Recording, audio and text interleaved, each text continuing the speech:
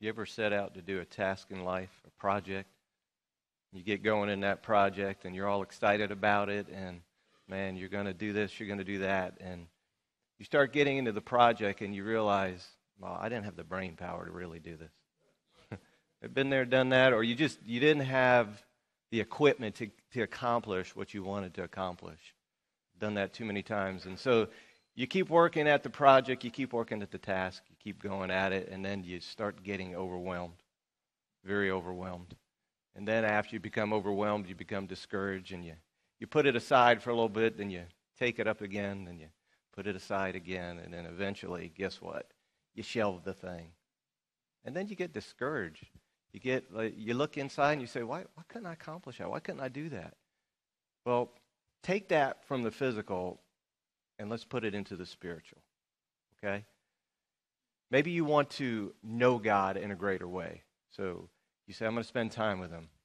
Get up in the morning, and uh, alarm goes off. You set it for an hour earlier, and you say, I'm going to accomplish this. I'm just going to spend time and sit there with the Lord. You wake up. What's the first thing you do? Because I, I know you've done this. Well, maybe I should start with 45 minutes. So you hit the snooze button, right? And then you, d- wake up at 45 minutes and you say, well, I think I might have bit off a little more than I chewed. Let's do a half hour. Hit the snooze button. And then you get back up after that. A half hour's gone already. You get up and you start thinking, why did it? I'll start this tomorrow. You know? Or you want to dig deeper into God's Word. So you get out all your study helps and you sit down and you, you put everything out on the table and um, all of a sudden, everything that can comes against you. The doorbell rings, your phone rings, you get a text. Oh, you just got to look at the text. You know that, right? Uh, or the emergency vehicles outside. Some, something's going on. There's always a dis- disruption of some sort. Know what I'm talking about? Or you make these great plans.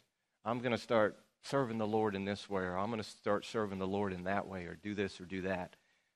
And you start making all these plans, but you never really get to walk out the plans. And what do you do? You get discouraged and you start beating yourself up and you just leave it alone and you walk away from it.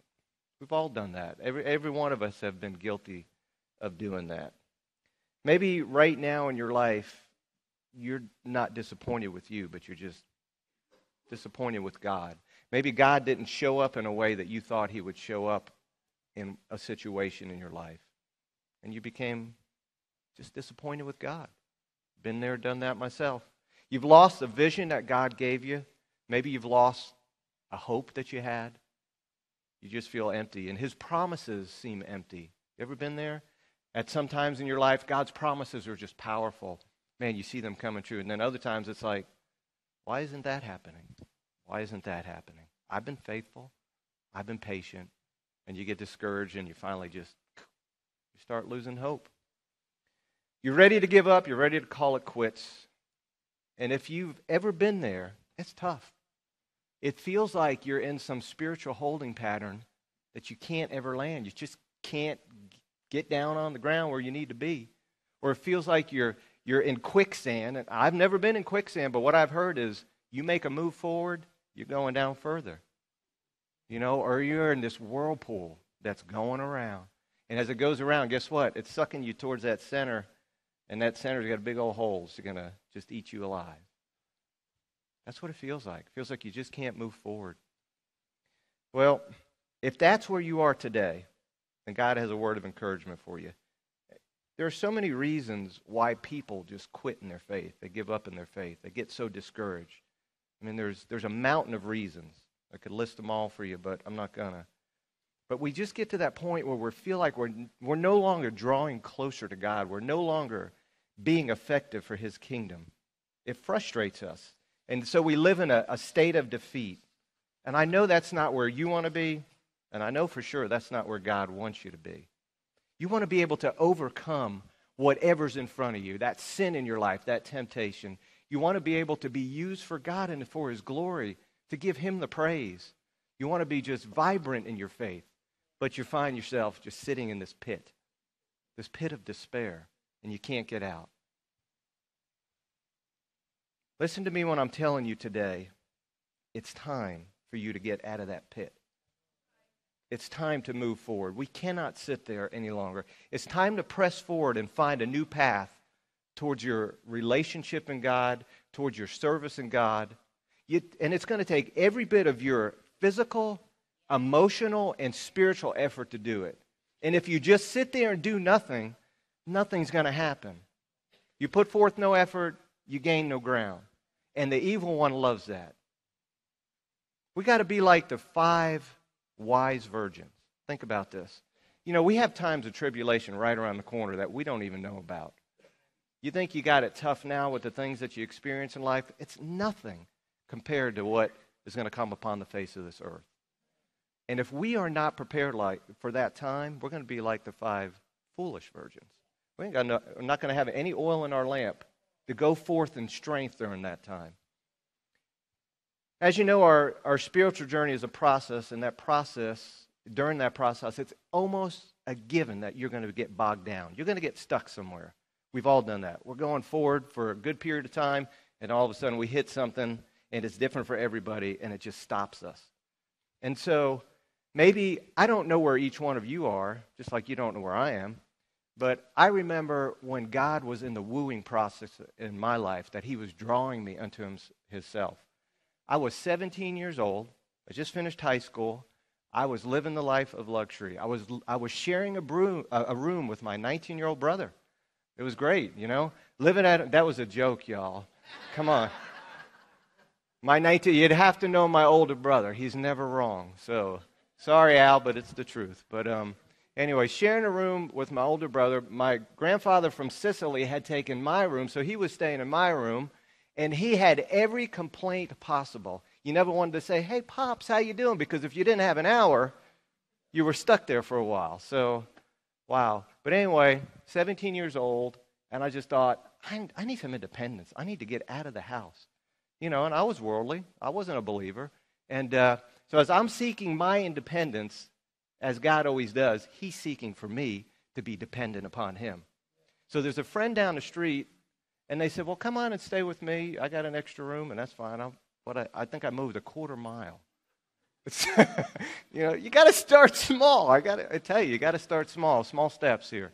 But uh, so I go down the street, and I remember a couple nights after being there, they sat down and they started sharing with me the gospel of the kingdom.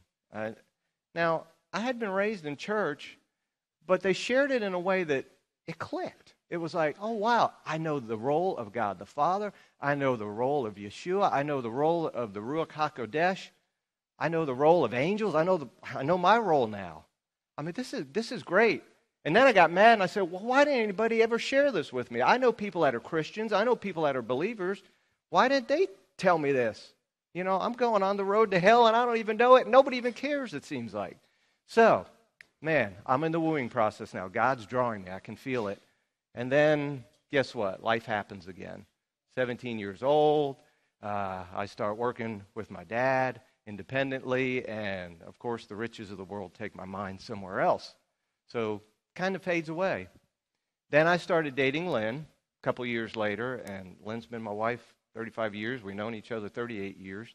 And uh, her family's that time into spiritual things. Excuse me. And my mom and dad are starting to look into spiritual things. And so there's the wooing process again. God starts putting an interest in me as well. So I start looking into the things of God again. Don't know what happened. You know, came up for a while, then it died down. Here we are, you know, three years and nothing's going on. What's going on? You know, I'm one of those tough nuts to crack. Johnny knows. He works with me. But uh, get married at 20 years old to Lynn, and um, then uh, about a year and a half into our marriage, Lynn becomes pregnant with Ryan. That's Ryan right next to her. Anyway, if you don't know Ryan, my son, my oldest son, our oldest son. But um, during that time, that's where God really just boom, he just hit me hard. And I started becoming so interested in the Word of God that it just, I couldn't put it down. It didn't matter where I was. I'd take it to work. And uh, of course, I'm glad we had a family business that I was able to sit there and, hey, any break time, I would sit and research the Word and cross reference stuff. And, and I found myself organizing stuff in a way that I was able to share it with people. And um, six years, I had to sit there and think. It was six years be- before the the time when God started to woo me until the time that I actually came to faith in Him. And that's where some of y'all might be in that process and you're, you're getting tripped up. You're being drawn to the things of God. And then there's something in your path that is keeping you from fully coming to Him. Let me tell you, don't stop. If you're listening to my voice, don't stop. God has so many good things in store for you. I don't even want to know what I would have become without the Lord in my life. So keep pressing on and don't quit. He is the very lover of your soul. And nobody can love him. Nobody can love you like he loves you. So keep pressing on. He has so many good things in store for you. Well, anyhow, let's get back to this. There's another process that uh, we go through when we become a believer, and it's called the sanctification process. All right? You get born again, and you have to start growing. That's right. You can't remain an infant your whole life. I'm sorry, but that's the truth. You know, we tell our kids to grow up. Well, guess what? There's a lot of us that are sitting out here and hearing my voice that are not growing up, staying in the same spot. It's time to move on. Well, why do we need this? Well, we've got to we've got to change because we're a mess when you think about it when we first come to the Lord. And there's so much garbage and excuse me, but crap in our life that just needs to get out. All right? God's got to get it out. He's got to form that spiritual man, that spiritual woman that he's always desired to see in you. So, but this time is filled with such adversities, it's filled with difficulties, it's filled with trials, it's filled with tribulations. It's filled with all these things that in the flesh we don't want, right? We push away from these things. But God says, these are the very things that I'm going to use to mold, to shape, to get rid of the garbage out of your life and put the and build you up into a spirit man or to a spirit woman that I desire.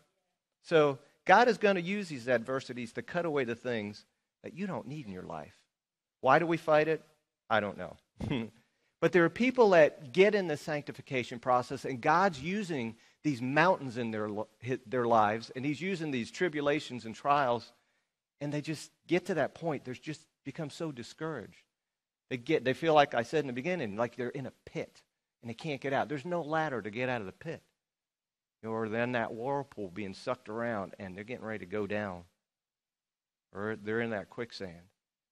And maybe that's where you are. But God doesn't want you to remain there. Spiritually speaking, God doesn't want you in that holding pattern. He wants you to move forward. But let me tell you from the onset, it's going to take some work. It's hard work. It really is truly hard work. As, as an early believer, excuse me, as an earlier believer, I want to share something with you. I had a terrible time.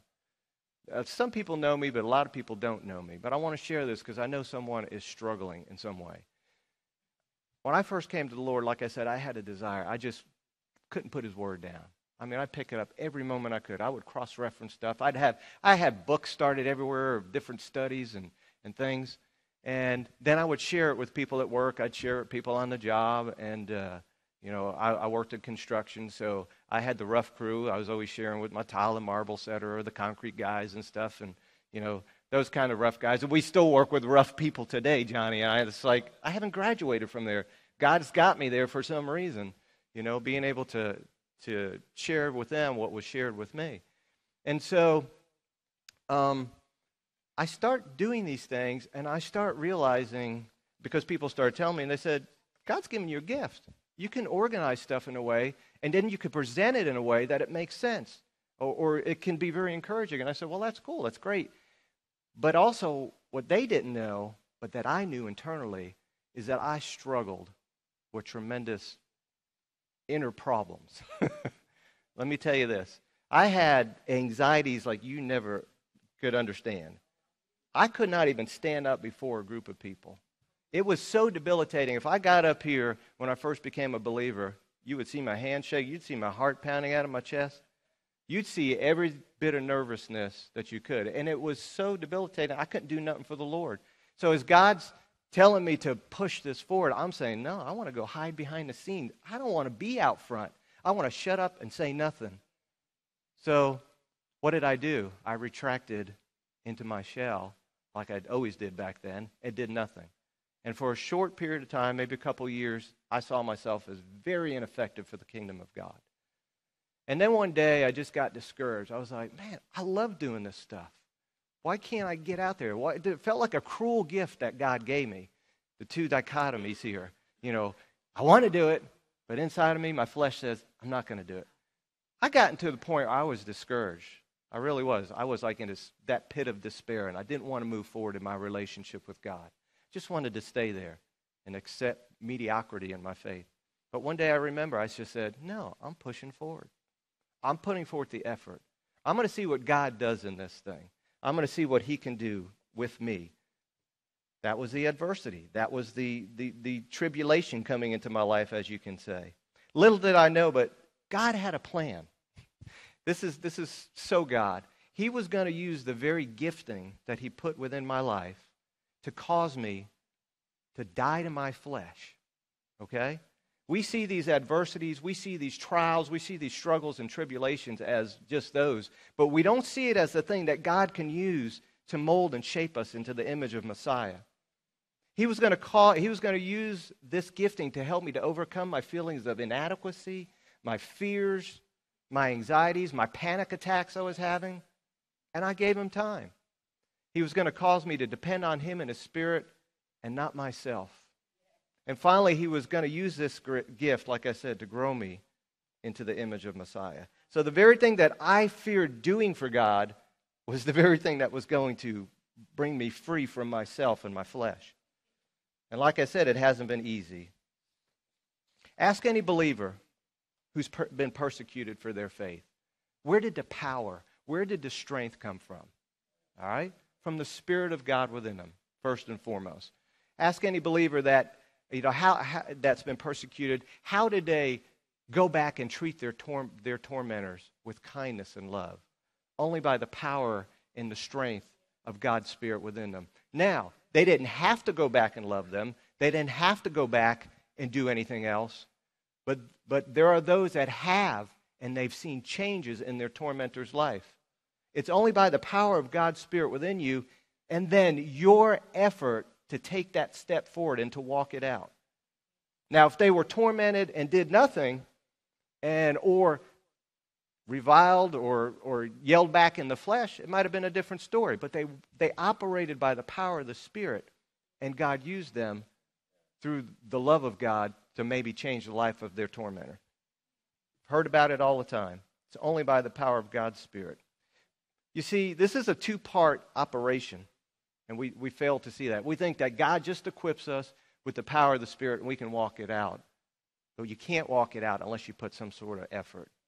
You know, faith by itself is not good. Faith is like just going to the gym and you open the door and you say, I'm in the gym, right? I'm in the gym, right? That's great. You're in the gym. What's going to happen? Nothing unless you do something. You know, at one point in our lives, we stood in the wrath of God.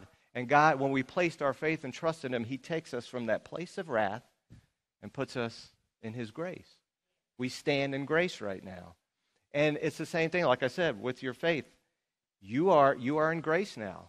But does that mean you're going to grow up? Does that mean you're going to be a, a, a, a victorious in your walk? No. You got to put forth the effort. Just like when you go in that gym, you better get on the treadmill, you better get on the stair stepper, you better pick up those weights. You better have a game plan, an action plan to grow yourself. If you don't, you're going to be staying right where you're at. I believe that God wants you to go from here today, those of you that are struggling, with the confidence that no matter what you face, no matter what comes across in your life, that you can, if you start adding to your faith, more so than just believing that you're going to be victorious in what lies in your life right now.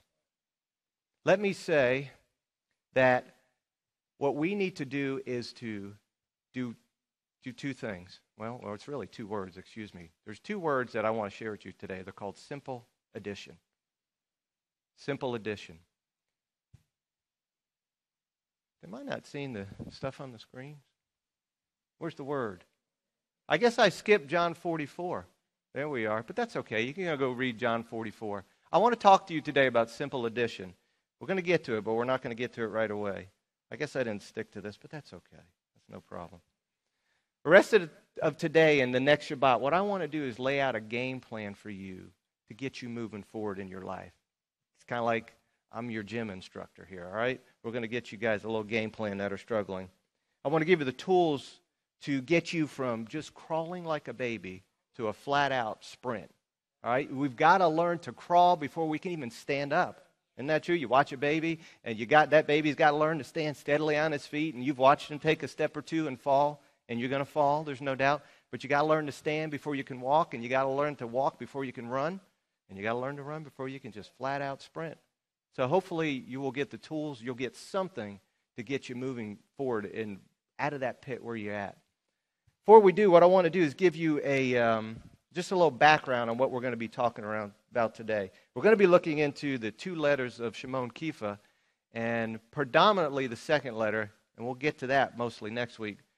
But a uh, little background. It's about 66 or 67 AD. We know that the temple in Jerusalem is still standing at that time and the gospel is going forth out into the known world. And as it does, people are placing their faith and trust in Messiah. But guess what? They're also being persecuted for their faith. And so Kepha sits down and he writes these letters to encourage the believers that no matter what you're going through, God is still there. God is still going to provide for you. And He's given you so much. I want you to see also, He says, all the things that God has given you. So They've ha- they were having their homes taken from them, they were having their property taken from them, they were being forced to just keep moving on. And before he became a believer, that's what Shaul was doing. He was getting letters and he was going out and he was persecuting the believers and forcing them from their homes wherever they lived. So, so he was writing to these believers who, who are scattered throughout the Roman Empire because of their faith. And uh, at that time, I couldn't imagine being a believer you know, going through that kind of persecution. And all I'd probably want to do was lay low at the time. You know, hey, just let's be a quiet believer, you know? So, and on top of that, guess what? There's, there's so many false prophets that are going around because Kepha talks about that as well. These wolves in sheep's clothing trying to mislead the people. Look at the mention of all the difficulties uh, in, the, uh, in the letter of First Peter. Distressed by various trials You've been called for this purpose, since Messiah also suffered for you, leaving you an example for you to follow in his steps. So you're going to be suffering. If you should suffer for the sake of righteousness, you're blessed. Do not fear their intimidation. Don't, don't be troubled. The thing which you are slandered, those who revile your good behavior. Since Messiah has suffered in the flesh, arm yourself also with the same purpose. It's going to happen. Next screen. And then these two passages as well. Don't be surprised at the fiery ordeal among you uh, which comes upon you for the, your testing. If you are reviled for the name of Messiah, you are blessed. After you have suffered for a little while. Powerful passages that let us know that, yeah, they suffered for their faith. And we, that could be right around the corner for us, too. We don't know. So Kepha sits down and he writes them uh, words of encouragement in these two letters. And he wants them, he wants to remind them that they have to put some things into practice to move their faith forward, to be victorious, you know, to be able to keep pressing on. You can't sit still long, or else you're going to get swept over, there's no doubt. So, in his first letter, uh, in uh, 1 1, Kepha starts out and he says, Kepha, an apostle of Yeshua Messiah, to those who reside as aliens scattered throughout Pontus, Galatia, Cappadocia, Asia, and Bithynia, who are chosen. The very first thing that he wants to state to them in and He wants them to remember, and you need to remember, it doesn't matter what you're experiencing, what you're facing, you are still God's chosen, regardless of what you're going through, regardless of how high that mountain seems or how deep that pit seems. You are still God's chosen. The believers were being forced from their home, like I said, being persecuted, their property taken, their houses taken. And even today, as I'm speaking, I know that this message could possibly reach some of these countries where believers are having that same thing done to them by extremists and radicals. And I want to encourage you as well. You are God's chosen. Don't ever give up on that. God has set you aside. Whether you're a natural branch or you're grafted in, you are God's chosen. And some of you that are sitting here today have left homes. I know some of y'all have. I've talked to you. You've left places and you've come and moved here. And a lot of you have ran into that, that mindset of, man, I'm lonely now. I don't have my family like I had back then. I don't have the friends I have back then. But God's called you to do something. And I want to encourage you to keep pressing on, keep going forward in what God's called you to do. It might be discouraging at a moment here and there, but He's got a purpose, He's got a plan. You're here for a reason, and don't give up. So you feel lonely. Let me just say this it doesn't matter if you feel lonely. We are never going to fit into this world. This, this place is not our home. Sometimes we lose focus of that. Our mind goes back to just wanting something tangible to hold on to or something tangible to, to be able to relate to. But God's saying, This isn't your home. We are going to have a home one day. You see, Yeshua is preparing something great for all of us. We belong to a kingdom that is not of this world. There is a day where we will fit in, as Daniel says, as the book of Revelation tells us, that, that one day God's great kingdom will come upon the face of this earth. And Yeshua will reign, rule and reign with right, righteousness. And guess what? Who's going to be there with him? You and I are going to be there with him. So think about that. Keep that in the forefront of your mind. He's preparing a special place for us right now. Yeshua said in John 14, 1 through 3, He says, Don't let your heart be troubled. Believe in God, believe also in me. In my Father's house, well, there are many dwelling places. If it were not so, I would have told you. For I go to prepare a place for you. If I go and prepare a place for you, I will, and I underlined that in mine, I will come again and receive you to myself. That where I am, you may also be. In the future restoration of all things, when God creates a new heaven, God creates a new earth, what he's going to do is bring that new Jerusalem down to this earth. And all that you see right now, it's going to fade. It's going to fade from memory. It's going to be destroyed. Isaiah 65, 17 tells us, For behold, I create a new heaven and a new earth, and the former things, well, they're not going to be remembered. They're not going to come to mind. And then in Revelation 21 2 and 10, he reminds us of the New Jerusalem. And I saw the holy city, New Jerusalem, coming down out of heaven from God, made ready as a bride, adorned for her husband. And he carried me away in the Spirit to a great and high mountain and showed me the holy city, Jerusalem, coming down out of heaven. And if you got time today, please, and this is your day of rest, spend it with the Lord. Go read Revelation 21. It's funny because when Rabbi was talking about this last Shabbat, I was like, hey, you're stealing that passage I wanted to share. But that's okay because I know what's going on. God is driving something home. When God repeats something, He's driving a point home. And a lot of you need to hear this. A lot of you are discouraged. You're facing mountains that I can't even imagine. And so go home and read it. You have something great in store for you. God is doing a, a powerful work behind the scenes we don't even see. All right. Where are we? Revelation 21:10. okay. Hebrews 13:14 says, "For here we don't have a lasting city, but we are seeking that city which is to come." Come Yeshua, come. We're so ready. So if you're struggling because you feel like you don't fit in, that God's moved you somewhere, or you're being forced from your home, literally, that's okay. God's got something better prepared for you. God's got something so far greater than you could have ever imagined. Nothing's ever going to compare. Kepha continues to encourage, encourage the believers in the next passage. Uh, he said he reminds them that God, in His great mercy, has caused them to be born again to a living hope. As opposed to a dead hope, we have a living hope. And as opposed to a lot of people in the world that have no hope in, at all, we have a living hope. And so don't forget that. And it's not possible without the resurrection of Messiah. And if you're connected to Messiah Yeshua, then guess what? That promise is for you and for every believer. That's right. We too shall rise from the dead. If that's not enough, let's look at what God's going to give us. He says He's going to give us an inheritance. An inheritance. You can go back to that one. Is it in there? Yeah, it's in there. Down towards the bottom. An inheritance. And he describes this inheritance as imperishable. Is nobody going to destroy it? What God creates and what God sets forth in motion, nobody can destroy. It's undefiled. That means nothing unclean is ever going to enter into it. Nothing. And it will not fade away, and it's reserved for us in heaven. God is doing a tremendous work for us. Keep this in the forefront of your mind if you're discouraged right now. Don't let the world steal your joy. Don't let the evil one steal your joy. Yeah, you might have messed up. You might keep giving into that sin. But guess what? One day you are going to be victorious over that temptation. One day you're going to be victorious over that sin. I know you will. With that in mind, let's look at how, let's go into Kepha's second letter. Many encouragements from the, from the first letter. But he says in 1 1, he says, To those who have received a faith of the same kind as ours. You know, with God, there's nothing new when you think about this. There's nothing new in the world. The same faith that Kepha received, the same faith that the apostles received, guess what?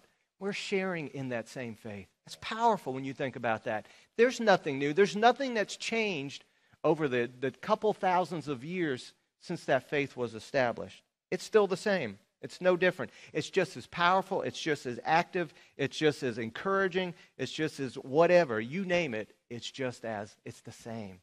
It hasn't changed. What they had, we have today. What they experienced, we can experience today. Nothing's changed. The power that they saw, guess what? You can see it today if you keep pressing forward, if you keep walking. And how did they receive this faith? Kepha says, by the righteousness of our God and Savior, Yeshua Messiah. Our faith is not of our own making. And if you, and if you think you're the one that has established it and this is your doing, you are just totally off base. It is anything we have is given to us by the Father, even the very righteousness, because you know that our righteousness is as a filthy menstrual rag, as the scripture really says. It's as dung on the face of the earth. Okay? So we need the very righteousness of God. We need that to change us. So he imparts this righteous, righteousness to us. And just thinking about that, that to me is beyond a blessing.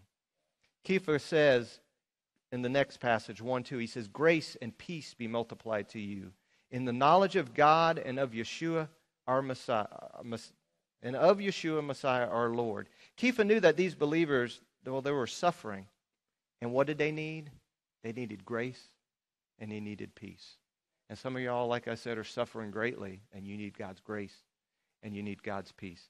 This word, uh, be multiplied, is an interesting word it's used in the optative mood. I like to research tenses, moods, and voices of the languages because to me they give color to the language, they give understanding. It makes it clear to me what the, the inspired uh, writings are actually saying here. And the optative mood is a mood that conveys a hope for something to happen.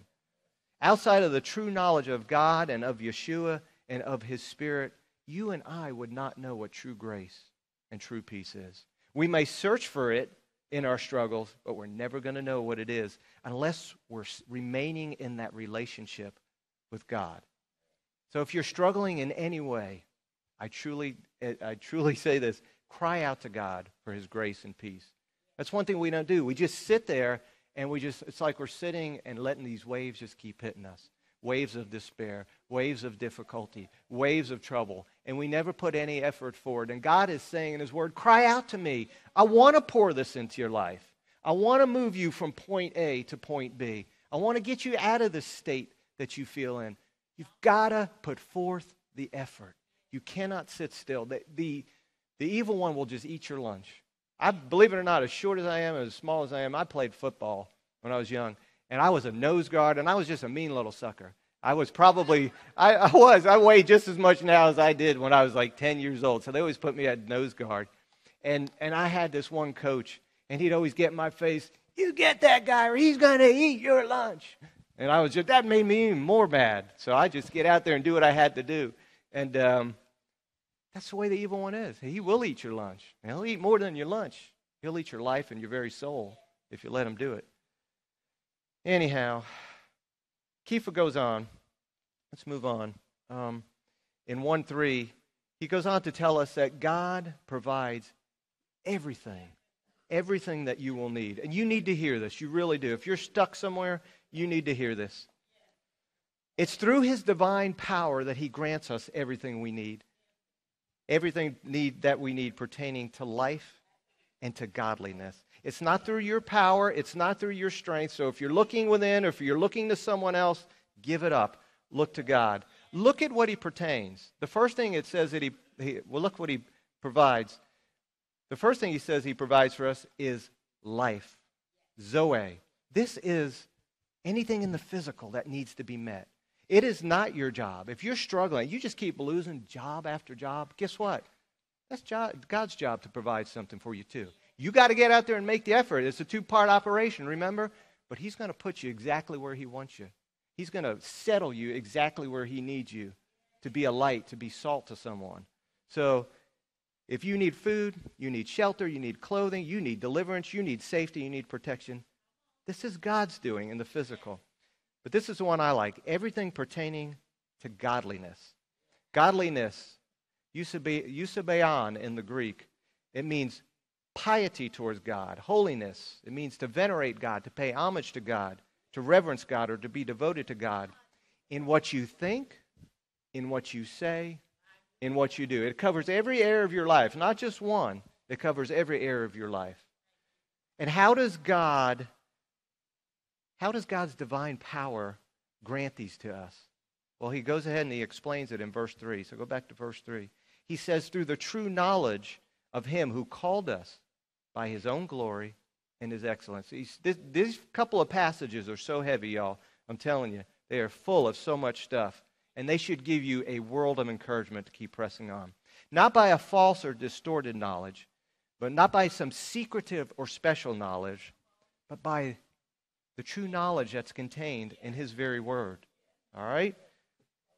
And it's not only contained in His very word, it's, creating, it's, it's contained in creation itself.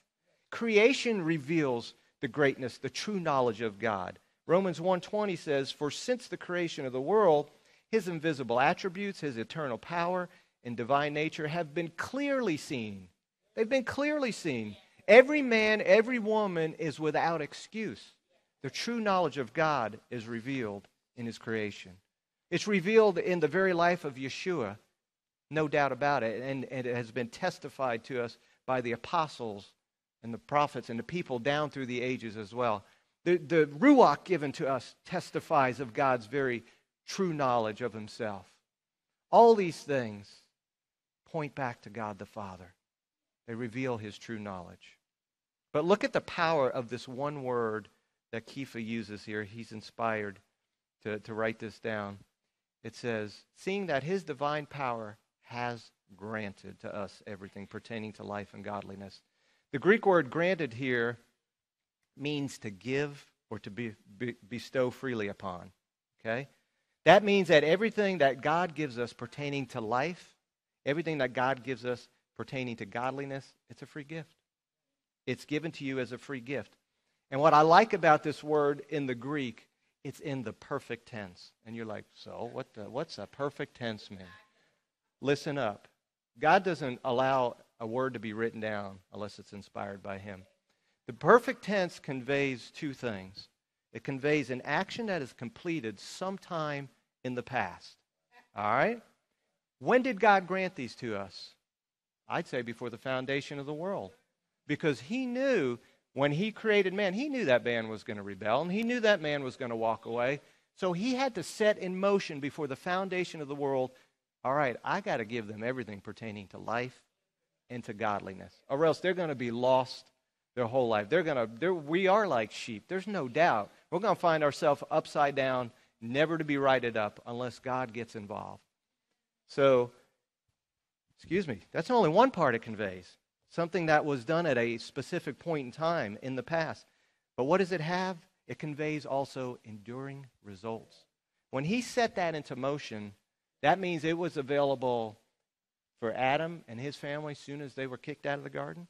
That means it was available for all the prophets that proclaimed Messiah before he came and all the believers back then under the, uh, the older covenant. It was available for everybody at the time of Messiah. It's available to everybody between the time of Messiah and now and before and until he comes. This will continue to be available to everybody that places their faith, their trust, their hope in him.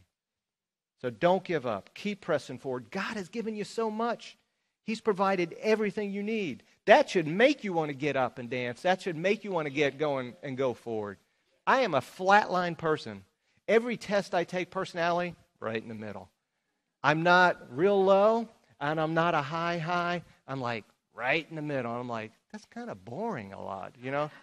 But when you see stuff like this, it motivates you to say, wow, God has given us much more than we could ever imagine. Much, much more. The problem is, we believe the evil one. He's told you you're no good.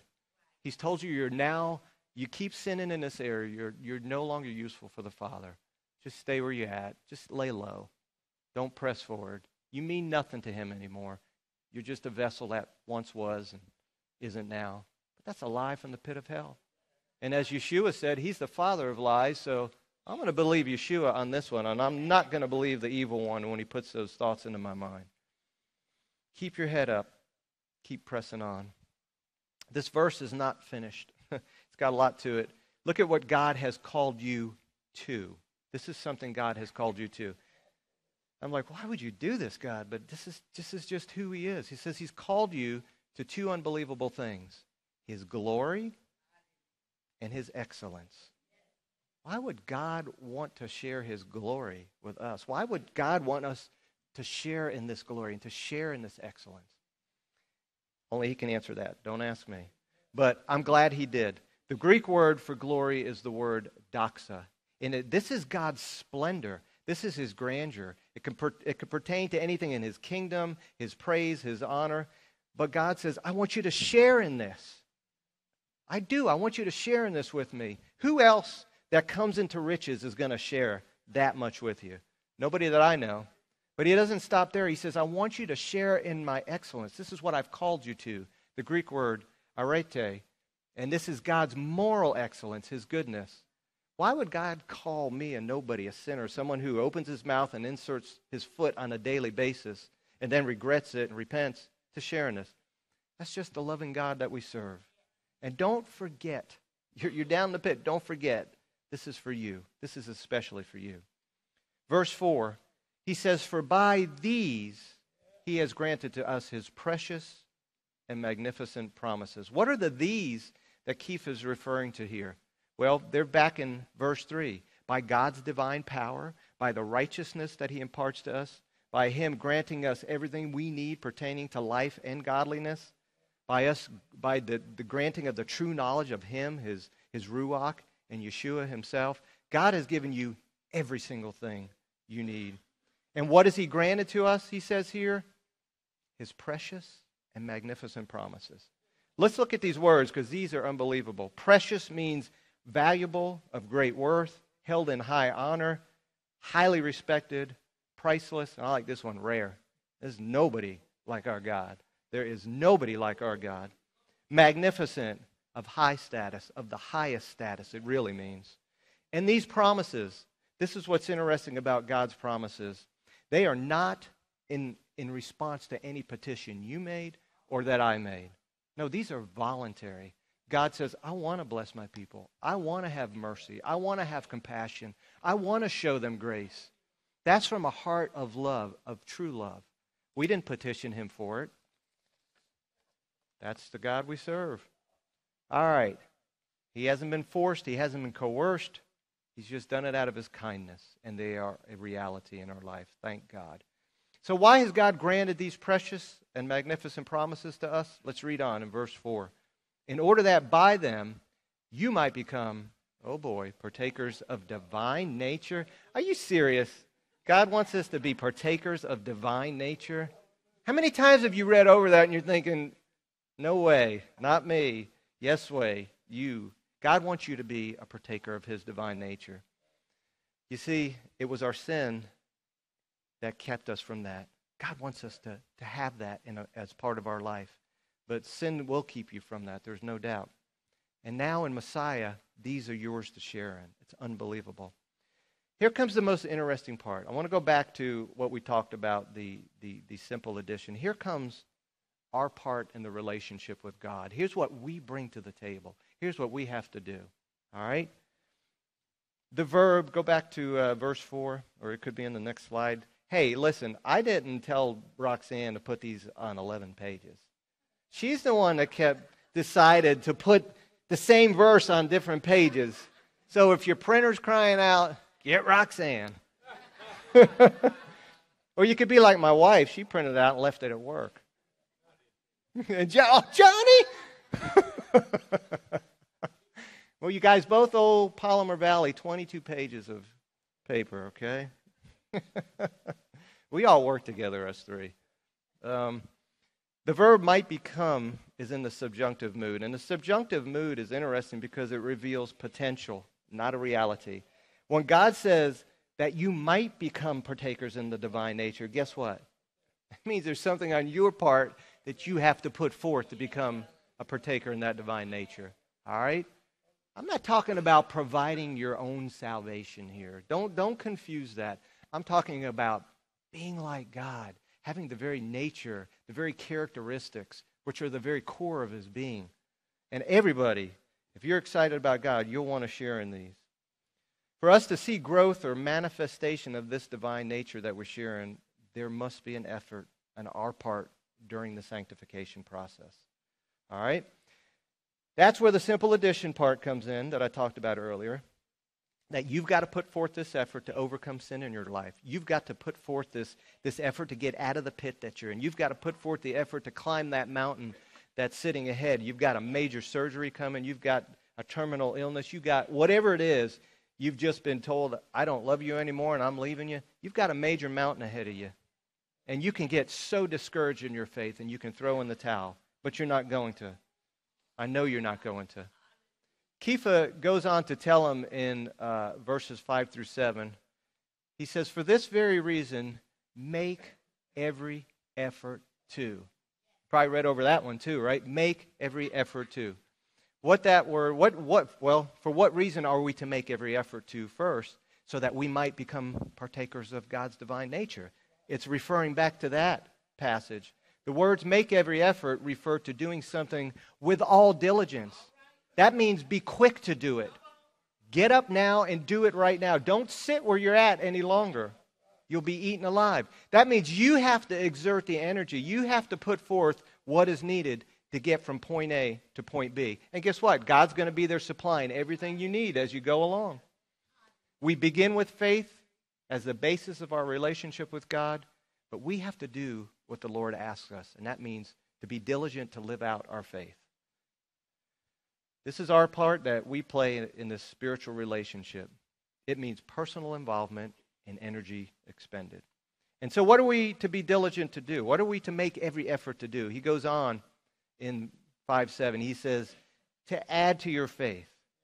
The word add here is the Greek word epichoregeo, which indicates that we have to lavishly supply or furnish abundantly. That's right. And what I like about this word, once again, God is smarter than us. He puts it in the imperative mood. That means it's a command. Don't you sit still when God is telling you this right now. Don't you go from here today or sit where you're at and go back and sulk because you're facing this in your life. Start moving forward. It's a command from God. You might not respect me, you might not know me, and that's okay, but this is the very word of God speaking to you, not me. So, are you going to be obedient to him, or are you not going to be obedient to him? Uh, uh, it's up to you. It's totally up to you.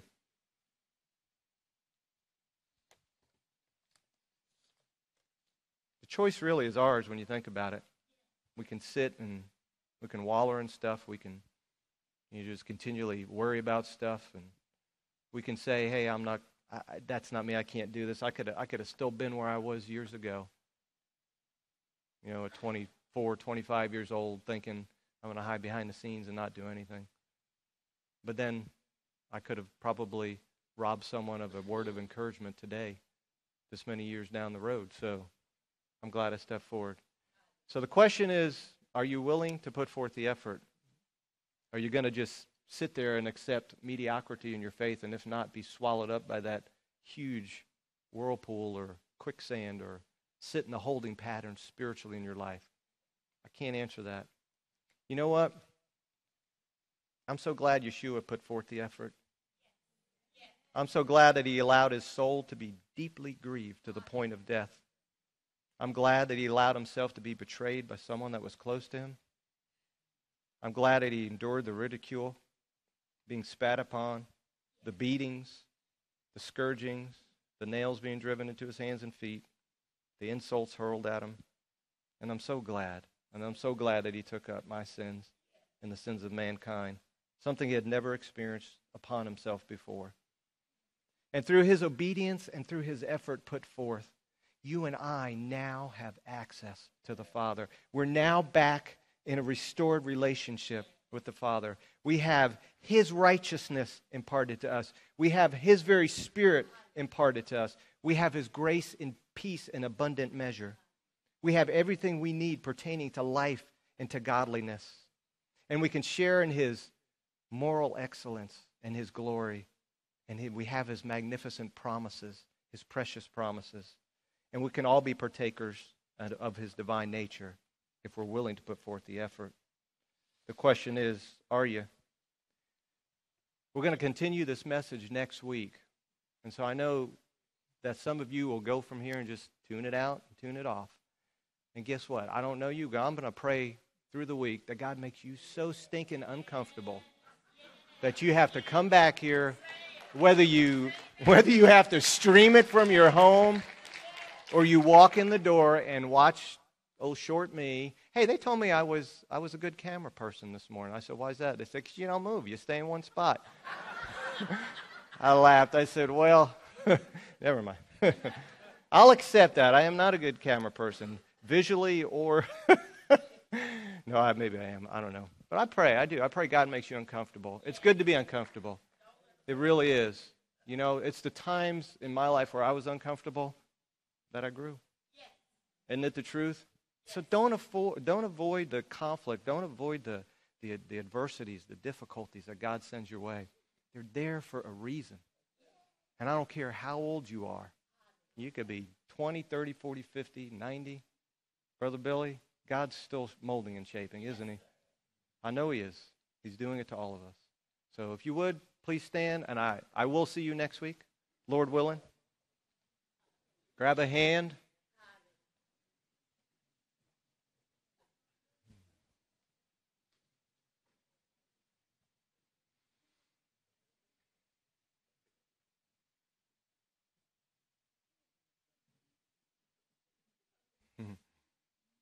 That's right, Mike. It takes effort, right?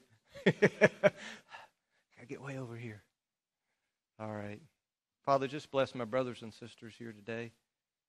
Uh, you know their need. You know what they need, Father. Beyond any of us, they could come and tell us they're doing great and everything's fine. And deep down, Father, they're struggling. And so, Father, we just we just ask that you pour within them everything they need, every single thing everything we talked about, everything your word promises us to get going forward again. Uh, do that for our brothers and sisters. And for those that are watching uh, online, streaming as well, those that will come across this message maybe, who knows, months, years down the road and find themselves in a pit, Lord, pour into their lives at that special time. We need you so desperately. We just need you. We couldn't, you alone as Someone said, You alone have the words of life. Who else are we going to turn to, Father? It's you and you only. So we do that every day. Help us to do that. Help us to put forth the effort to serve you and to love you with all of our whole heart, soul, mind, and strength. And Lord, when it's all said and done, we'll be able to look back and have a testimony for you. Not for anything that brings us glory or honor and praise, but it brings you the glory, honor, and praise. And that's what we want to do with our lives to praise you, to bless you, to be living sacrifices for you. Nothing compares to serving you, Father. Nothing. And it is the sweetest thing to know that you can use us. That's right. We all want to be needed. And I know there's hurting hearts out here that just want to be needed, Father. And you want to use them in a desperate way. So, Lord, I just ask that you will bless and keep my brothers and sisters, and that you will cause your face to shine upon them and be gracious to them, and lift up your countenance upon them as you always do and give them your peace. Father, I invoke the name that's above every other name upon the people that are here today, even my life, my whole family's life, the people that are watching, and the people that will hear this message.